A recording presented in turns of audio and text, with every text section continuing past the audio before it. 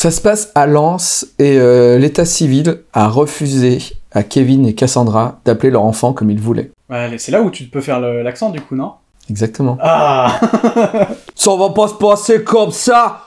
Nous, on, le gamin, on va l'appeler Bilout. On l'appellera Bilout. Non Bah non Si, on a choisi ce prénom en hommage à mon grand-père qui m'appelait Bilout quand j'étais plus jeune, dit Kevin. Mais oui, mais Kevin, tu peux pas faire ça, enfin... Ça veut dire petite bite. On va essayer de voir avec l'état civil ce qu'elle est possible de faire. J'y tiens ma Bilout, précise Cassandra. Ah, tu faisais Cassandra, je crois que tu faisais Kevin Tu sais, dans le Nord, on reconnaît pas les hommes des femmes. Bon courage, Kevin et Cassandra. Ah, ils sont en train de... Ouais, ils sont en train de négo. Que votre petite Biloute grandisse bien. Non, mais tu l'appelles... euh, Benoît Non, Bill. Bill Tu l'appelles Bill. Euh, tu l'appelles Bill et toi tu rajoutes le out. Et voilà. En fait, Finalement. Ouais, Boule et Bill, Bill et Billout. euh, voilà. Manche, manche, cravate, lunettes, lunettes, lunettes, double lunettes, lunettes, lunettes, lu- lunettes, Mec Bad News Bad News vous est miaou par Le Fury Bar, le premier bar à Fury. David nous parle de ce lieu de rencontre inhabituel en plein cœur de l'Auvergne. Bah, au début, on trouvait ça plutôt amusant d'appeler notre bar PMU le Fury Bar, par rapport au jeu de mots. Et puis, ma Valérie, elle avait un salon de coiffure qu'elle avait déjà appelé Infinitif. Je trouvais ça rigolo. Après, c'est sûr qu'on s'attendait pas du tout à cette clientèle. Ah oui, bah c'est sûr qu'on a dû s'adapter, hein. On a dû enlever la borne du rapido et mettre une machine à karaoké. Et puis, l'équipe, on le vend plus du tout. Maintenant, on vend l'Animeland. Après, ils sont pas méchants, y a pas de souci. C'est juste que maintenant, on vend beaucoup plus de lait que de bière. Et puis, il faut voir ce que Valérie, elle ramasse quand elle passe te balai le soir, hein. Soirée My Little Pony, samedi à partir de 19h. Entrée gratuite pour tous ceux qui hennissent, Belle, Glatis, Miaule, Coucouane ou Jap. Merci, Ariel. Bonjour, mesdames, messieurs, transgenres, sans genre, mauvais genre, badounettes, c'est Bad News. Bad News, c'est l'émission de l'autre actualité. On n'est pas là forcément pour rire, mais on est là pour faire un état des lieux de l'humanité. Et croyez-moi, on est une belle brochette de cons. Je rappelle que Bad News est la seule émission qui affirme ne pas vérifier ses sources. Merci à Pampoitou et à Rob pour ce nouveau générique que la France réclame à corps et à cri. On devrait le mettre deux fois de suite. En bref, de Davy, trouvé sur jgalère.com. En bref. C'est une histoire euh, plutôt jolie. Ok. C'est une femme qui est aveugle depuis ses 8 ans à cause d'une tumeur au cerveau. Et en fait, un soir, donc là, elle a 38 ans, donc c'est 30 ans plus tard, et elle a un chien, forcément un chien aveugle. Elle lui dit bonne nuit un soir. Elle se baisse pour lui faire un bisou, pour lui dire bonne nuit. Et vu qu'elle est aveugle, elle n'a pas vu l'angle de la table, et bam, elle se cogne la tête, et elle a vraiment une douleur hallucinante à la tête, et elle va se coucher. Et le lendemain, Spider-Man, elle voit à nouveau. Et le lendemain, elle a retrouvé en partie la vue. Donc elle avait plus besoin de son chien, donc elle a fait piquer. Tu mens Je mens. Ce serait trop ouf, c'est quand même la, la personne hyper ingrate de bah je suis plus aveugle. Bah Non, mais oui, enfin, grâce à son chien d'aveugle, qu'elle lui a fait un bisou, elle a retrouvé en partie la vue, ouais. Ça a déplacé un truc, les, les spécialistes ne savent pas ce qui s'est passé. 30 ans sans voir, je me cogne, je re- retrouve en partie la vue, je prends un marteau et je fais pas Non, mais oui, jusqu'à ce que ça je revienne. me dis, tous les aveugles qui, sont, qui ont eu vent de cette info ont dû au moins faire. Bon, j'ai rien à perdre. en bref, de Steve Harlow. En bref. Ça se passe, c'est vraiment très récent, c'était en mars dernier, à Vannes, dans le Morbihan, dans le quartier de Kercado. Il y a des jeunes en train de vendre de la drogue. Et, euh, et la police arrive, et le jeune fait Oh putain Et il part en courant. Et il arrive vraiment à courir vite, plus que la police. Et il arrive à échapper aux flics et tout ça, tout ça, tout ça. Et pour se cacher, il voit une, euh, une bagnole ouverte. Il ouvre, il rentre dans la bagnole. C'était la voiture de la BAC. Les gars, je me livre Et il y avait un flic dedans, en civil, qui lui a fait bonjour. Voilà. Ils l'ont embarqué. Ah ouais. Ah c'est con, il a pas pu dire merde, je suis je me suis trompé de voiture. Euh, non. Ah il était au courant. Ouais, ouais, il a fait, il a fait. Alors. C'est con là ce qui t'arrive. En bref, de Davy, trouvé sur euh, jgalère.com. En bref. Ça se passe en 2012. Billy Payne Jr., âgé de 36 ans, et sa copine Billy Jane Hayworth, âgée de 23 ans, sur Facebook, sont allés dire que Janelle Potter, il l'aimait pas. sur Facebook. Ils ont dit oui. C'est un euh, cousin de Harry? Euh, je pense pas. Ouais. Janelle, c'est une meuf. Donc une- peut-être la cousine. Une cousine limite. D'accord. Et donc ils disent ouais, on t'aime pas. Alors je connais pas les termes euh, de ce qui a été dit, mais en gros sur We Facebook, don't like you. voilà, un- ils l'ont un peu affiché en disant euh, voilà. Et Janelle, elle est contrariée. Mhm. Euh, bah, en parle à son père qui a 60 ans, Marvin. Et lui, il est un peu très énervé. Euh, il dit non, mais on dit pas ça à ma fille quand même. euh, Elle est superbe. je- je- Allô, Kurd, you love my fille. Yes, I love your uh, sis- sister. Non, ça c'est sœur. Your daughter. Les gens savent pas. Euh, euh, yes, I love your sister. Yes. Uh, you know, uh, Billy and uh, Billy Jane? Yes. Is uh, fuck you, my wife uh, in Facebook. What? Uh, we go to to their home? Oh yes, together. Ensemble. Ouais. Tu voulais peut-être dire tomorrow? Bah les deux en fait. Hein. Tomorrow together. Tomorrow together, on y va. et On y va. Ils vont dans la maison et ils les tuent tous les deux. Eh oui. Et ils ont juste laissé le bébé euh, vivant. Et c'est le voisin qui a vu que le courrier n'était pas récupéré, qui est allé chez eux, qui a entendu le bébé pleurer, et il a vu le couple au sol, mort. Dites pas des bêtises sur Facebook. Et attention à ce que vous dites dans les commentaires de Bad News. Parce que quelqu'un pourrait bien péter un boulard. On sait où t'habites. Rendez-vous ce soir sur Twitch à 21h avec Sophie Lambda pour parler d'une bande dessinée qui s'appelle Tant pis pour l'amour. On va revenir sur la création de cet album. Le Ulule est terminé et nous avons eu... La, la somme s'affiche parce que c'est tourné avant.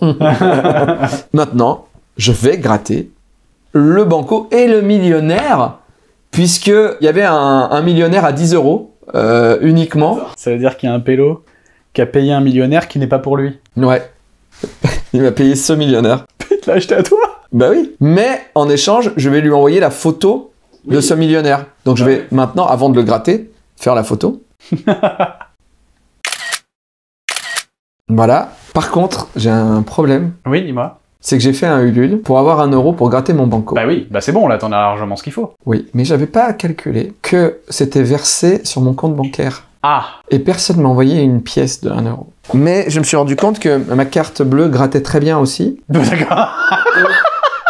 Donc on va gratter le banco et le millionnaire avec une carte bleue. Qu'est-ce que tu fais? Bah je vais filmer de plus près. Pour que tu puisses avoir un autre plan. Ouais, d'accord. T'es pas content? Si, si, je suis super, je suis super content. À ce moment-là, je savais ce qui allait se passer. Quoi? Pourquoi il y a plus le grand angle? Bah appuie sur la donne. C'est bon là? Ouais, c'est bon. Il n'a pas lancé l'enregistrement. C'était vraiment terrible. On commence par le banco, puisque tout le monde attendait le banco. hein. que, non mais attends, là, si la vie est ouf, il peut se passer un truc là. Oui. Gain numéro 1, 0 euro. Gain numéro 2, 0 euro. Un mois pour ça. Et alors maintenant, je vais gratter le millionnaire, mais crois-moi, maintenant, faut avoir le bac. Voire même euh, Un bac plus 2. bac plus 2 pour piger le jeu. Donc il faut que je trouve... Ah là là, c'est horrible, ce sont deux symboles les mêmes.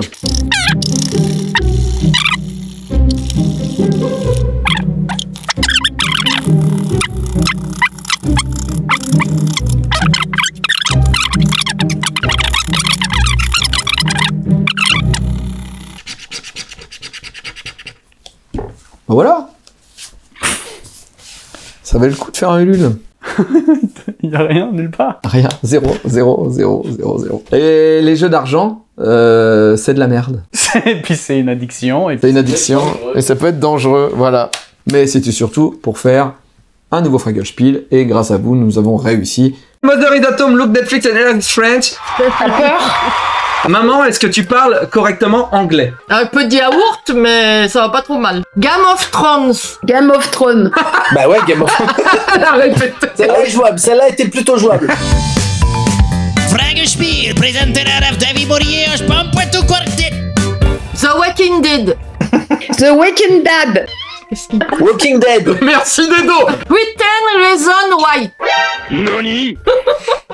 Ah, 14 Reasons Why. Merci Dedo, bonne réponse Je l'ai eu, je l'ai eu. Magnifique. Alors celle-là, celle-là quand je l'ai écrite, j'étais hyper pressé.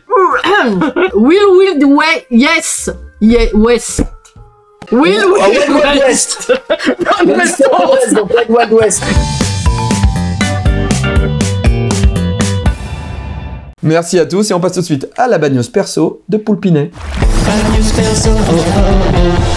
C'est sa bad news perso, donc il était brancardier euh, dans un hosto pendant, ses pendant les vacances entre ses 18 et ses 21 ans. Et un jour, euh, voilà, il est aux urgences et arrive un garçon tout rouge. Qu'il a la peau euh, vraiment rouge, mais rouge, un truc où on se dit, oh putain, on va aller aux urgences. Ce qui est très bizarre, c'est qu'il arrive, effectivement, il se rend compte que ce, ce, ce gamin qui a 17 ans est tout rouge, mais il n'a pas de bouton. Pas de, pas de pu, il, est, il, a, il a viré au rouge. Genre, c'est un alien des gardiens de la galaxie, quoi. Exactement, exactement. Et donc, euh, on lui dit, euh, ben, faut que tu l'emmènes en fauteuil, euh, voilà, mets-le sur le fauteuil parce qu'on sait pas ce qui peut arriver, et emmène-le euh, faire les tests, euh, va chez le dermato. Il sait qu'il emmène loin, donc il le met sur le fauteuil et il dit, ben, on va passer par les sous-sols de l'hôpital. Et par les sous-sols de l'hôpital, en fait, ils sont que tous les deux. Et ils avancent comme ça, et lui, il décide de faire la, la, conversation. Là, il lui dit, et ça va, euh, ça gratte pas au moins? Et là, au lieu de répondre, le jeune fait. Et lui, il arrête, il fait Je suis désolé, euh, je savais pas. euh, euh, je sais pas, t'inquiète pas, on est chez le dermato dans deux minutes et il va trouver ce que t'as. Hein, euh.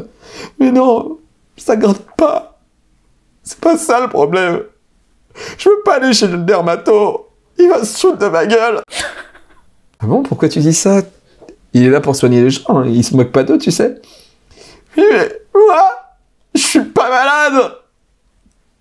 D'accord, mais pourquoi t'es rouge? C'est de la peinture De la peinture? Mais t'en as partout Comment t'as fait? En fait, sur le chemin du retour du lycée, il y a un gars qui repeint son mur en rouge. Et je me suis dit que ça pourrait être drôle de lui piquer un pot de peinture. Sauf qu'après, je savais pas quoi en faire. Alors, euh, je l'ai laissé chez moi pendant 15 jours. Et un jour, je l'ai sorti et j'ai mis les doigts dedans et j'ai aimé la sensation que ça faisait. Alors, comme c'était agréable, je m'en suis mis sur tout le bras et puis, finalement, je me suis demandé ce que ça pourrait faire si je me branlais dedans. Alors, j'ai étendu un drap dans ma chambre et je me suis mis tout nu et... Je me suis étalé de la peinture partout sur le corps et je me suis masturbé dans le pot et... Et après, je suis allé prendre ma douche et ça partait pas. Du coup, euh, j'ai tout mis dans un gros sac poubelle, j'ai tout jeté aux ordures, je me suis habillé, j'ai tout jeté aux ordures pour que ma mère, elle trouve pas, mais quand je suis rentré chez moi, avant de pouvoir prendre ma deuxième douche, ma mère était là, elle m'a vu, elle m'a dit « Mais t'es tout rouge !» Et elle m'a emmené aux urgences Oh là là Tout en me retenant de rire, je lui dis Écoute, tu expliques juste ça au dermatologue, hein, sans l'histoire de la masturbation. Tu dis que tes potes t'ont euh, demandé de te couvrir de peinture, que pour les filles tu l'as fait, et ça passera. Euh, tu penses? Oui, oui, oui, je pense qu'ils ont vu pire. Euh, ok. Je ne sais pas si c'est la pression de se faire euh, poser plein de questions. euh, en tout cas, il a craqué devant moi. Je l'ai vu ressortir de l'hôpital avec sa maman, pas en larmes. Donc, a priori, tout s'est bien passé. C'est fou quand même. bah, les, les fétiches, c'est. Ouais. Ouais, peut-être que plus tard, ça lui a déclenché un truc et le mec s'achète des petits pots de peinture pour chez lui, mais il prend de la peinture qui part à l'eau. Vas-y, il prend de la gouache. la correction de Sylvain. Bonjour les badounettes. Bonjour, maître. Dans la Bad News 116, à 750, Thomas écrit Thomas Diagnostic Tout pour un diagnostic santé rapide Thomas Diagnostic, QUE, au lieu de Diagnostic C. Adjectif au lieu de nom. Dans sa pastille humoristique, et que j'aime beaucoup d'ailleurs, Thomas utilise l'orthographe diagnostic et tac, QUE, qui est celle de l'adjectif qualificatif, comme dans les signes diagnostiques, et.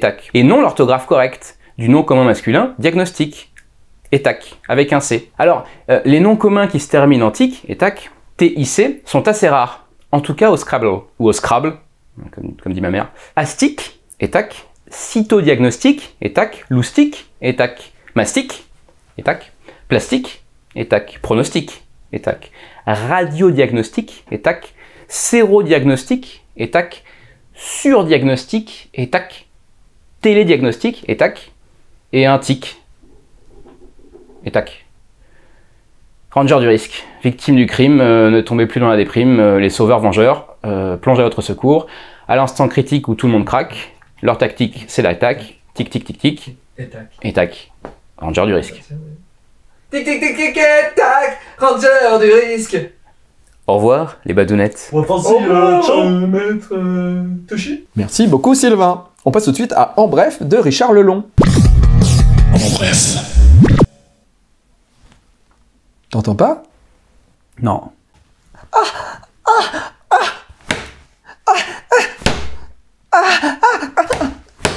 Mais si, le voisin se dit quand même que dans le, dans le jardin d'à côté, euh, il se passe un truc, hein Et là, il regarde par les fourrés comme ça, et là, il voit sa voisine, nue, ligotée dans le jardin, avec deux hommes autour d'elle, en train de la fouetter. Alors ni une ni deux, euh, il appelle la police. Normal Non. Puis les gendarmes sont arrivés, ils ont frappé à la porte, et la dame se rhabillait. Euh, oui, qu'est-ce que c'est? Ben, euh, on nous a dit que vous aviez euh, des problèmes au niveau euh, deux hommes qui vous frappent dans votre jardin. Oui, oui, je les connais. euh, je leur ai demandé de le faire. D'accord. Bon, ben, euh, et là, il y a le mec qui sort et un autre gars derrière elle, comme ça, ils vont. D'accord. Bon, ben, la prochaine fois, vous le faites à domicile, hein que les voisins, ils nous appellent pas. D'accord. Maintenant, c'est le moment de l'image racoleuse uniquement là pour la vignette YouTube. Et c'est ceci. C'est un Bernard l'ermite qui n'a pas trouvé de coquillage. Mais un autre truc. C'est trop bien C'est trop bien, hein On passe tout de suite à la bad news du jour, trouvée par Quentin sur Quora, Q-U-O-R-A. Et c'est une bad news historique, Thomas. Oh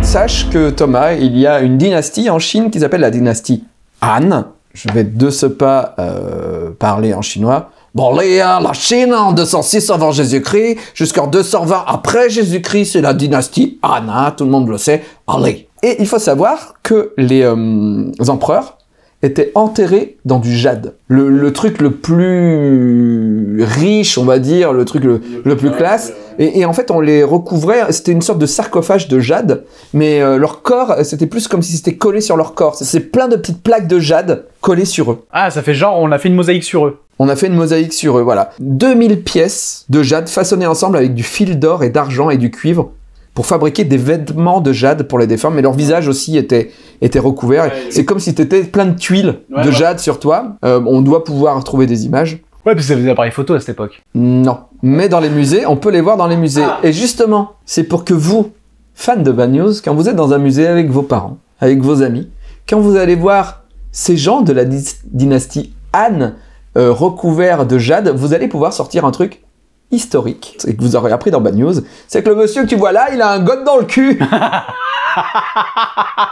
En jade Ah oui, bah oui, sinon c'est pas marrant. C'est- pour pas que le chi parte. C'est un bouchon. Un bouchon de caca, pas de chi. Le chi, c'est quand tu vas faire caca. Oh là là. pff. Tu veux que je la laisse ou pas? Mm, ouais, allez, allez. Et donc, oui, il scellait le corps, il, met- il bouchait la bouche, il bou- blo- bloquait la bouche avec un truc de jade.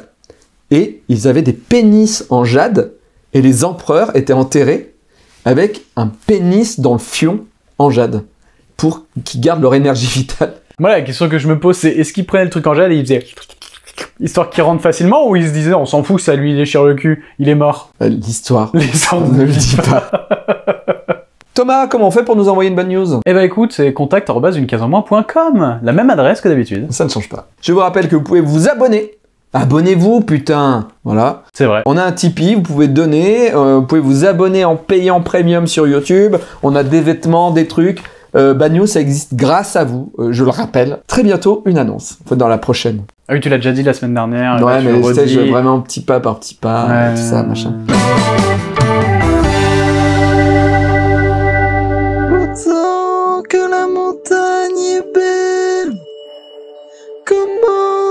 tantôt imaginé en voyant un vol d'hirondelles que le